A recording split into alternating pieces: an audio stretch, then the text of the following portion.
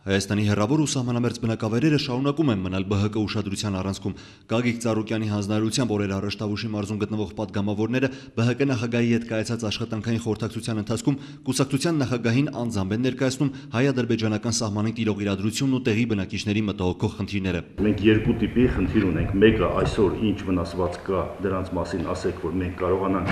բարեգործական եղանակներով լուծել, եւ երկրորդը խնդիրները, որոնք ասենք կապված են ազգային ժողովի հետ։ Բոլոր տեղերը տեղերում հարց էին բարձրացնում, ասում են հնարավոր է հողի հարկից ազատվել։ 4 գյուղից 3-ը գյուղ տեխնիկա է խնդրում։ Խնդրում են անցկացնել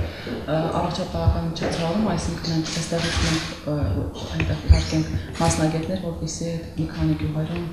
ստուդենտների իրենց առողջությունը եւ հնարավորության դեպքում բուժում նշանակվի Երևանում։ Մեր խոսքը գործ է եւ մենք մշտապես աշխատում ենք միևնույն սկզբունքներին հավատարիմ, նշում է Գագիկ Ծառուկյանն ու ընդգծում։ Սահմանամերձ վայրերի բնակիչներն ամենամեծ ուշադրության կարիքն ունեն եւ նրանց բարձրաձայնած խնդիրներին հարկավոր է ամիջապես արձագանքել։ Թիվ 1 խնդիրը առողջության պահպանումն է։ Հարություն Քուշկյանը վստահեցնում է, Երևանի բժշկական կենտրոնի առաջատար պրոֆեսորաբժշկական կազմը կմեկնի Տավուշի մարզի սահմանամերձ բնակավայրեր, որտեղ վաղ առավոտից մինչև ուշ երեկո մանրազնին բուժօգնություն եւ անհատական մոտեցում կցուցաբերվի տեղի բնակիչներին։ Իսկ առողջական առավել լուրջ խնդիրներ ունեցողները կուղեգրվեն Երևան ստացիոնար եւ ամբուլատոր բուժում ստանալու։ Իսկ անհրաժեշտության դեպքում նաեւ անվճար վիրահատվելու նպատակով աջակցությունը սակայն միայն այս ամենով չի սահմանափակվի։ Գագիկ Ծառուկյան բարեգործական հիմնադրամի աջակցությամբ կլուծվի ոչ միայն գնդակոծված տանիքների, այլ նաեւ գյուղտեխնիկայի խնդիրը։ 3 հատ տրակտոր այնտեղ լինի, անձամբ կազմակերպեք, ժողովրդին հանձնեք, որ դա ժողովրդի սեփականությունն է, գյուղապետարանինը չի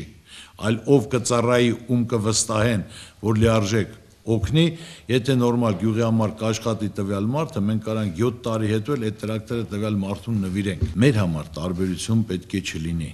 թե գյուղապետա, թե որ կուսակցության անդամն է այլ սահմանամերձ գոտում ապրող մարդը, որը բոլորը մեր համար հավասար են, որ դա պետք է ծառայի բոլորին հավասար, կուսակցական պատկանելիությունը կապ չունի։ Գյուղացիների կողմից առաջ քաշված մտահոգություններից շատերն էլ ԲՀԿ խմբակցության նախաձեռնությամբ կբարձրաձայնեն խորհրդարանի ամբիոնից եւ օրենսդրական լուծում կստանան։ Մասնավորապես քննարկման առանցքում կլինի սահմանամերձ շրջանների բնակիչներին հողի հարկի արտոնություններ տրամադրելու հարցը։ Մեր նախաձեռնությամբ կարող ենք այդ հարցը բարձրացնել իհարկե սեպտեմբերին, որ սահմանամերձ գոտում, ասենք թե եթե կրակոց է մարդը դա չի կարողանում դուրս գալ, մշակի հարկերը ոնց տա թող կեսով սարքեն կամ ասենք թե 80% պակաս ասեն, չենք ասում լրիվ զրի, բայց մարդը որ զգա գոնե, եթե սահմանի վրա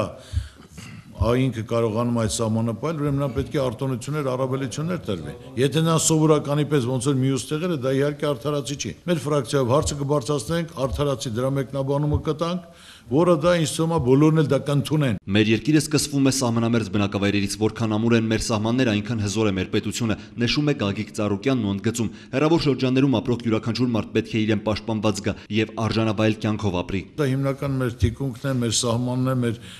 ամեն ինչն է, որ սահմանը թողեն գանով է սահման պահելը։ Տեղի բնակիչները պետք է իմանան, որ կա ուշադրություն կա վերաբերմունք, որ նրանք ավելի հույսով, ավելի հավատքով, ավելի դուխով վստահելի որ զգան իրենց մասին մտածող կա, մարդու մատից փուշանող կա եւ իրենց հնարավորություն ընձեռնող կա։ Ոչ թե մի անգամ, այլ parberabar պետք է հետեւական լինենք եւ իհարկե օրինակ կծառենք, որ մենք մի քայլ կատարում ենք, մեր հետևից բոլորը կատարում են։ Գոնե ուշադրություն կդարձնեն, ամեն մեկն էլ կաշխատի օգտակար լինել։ Սահմանամերձ ու սահմանապաշտ շրջանների վերածնունդը մեր առաջնահերթ խնդիրներից է։ Հետևաբար աջակցությունն այդ բնակավայրերին այսուհետ առավել մեծ է լինելու։ Հանդիպման ավարտին ամփոփում է Գագիկ Ծառուկյանը։ Հարություն Մինասյան, Լրաբեր